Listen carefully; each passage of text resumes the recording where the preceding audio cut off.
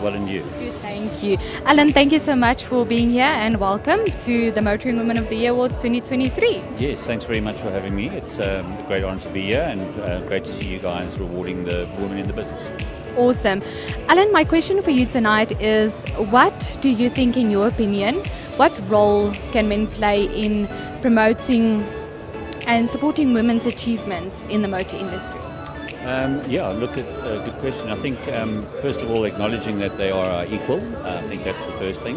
Uh, and then supporting them and obviously uh, giving them recognition for their achievements. I think that goes a long way um, to um, help promote um, uh, the confidence that they show anyway, you know. So, yes, it's, um, I think that's I think the best way to do it. Awesome. Thank you so much, Allen. Enjoy the rest of your evening. Thank you.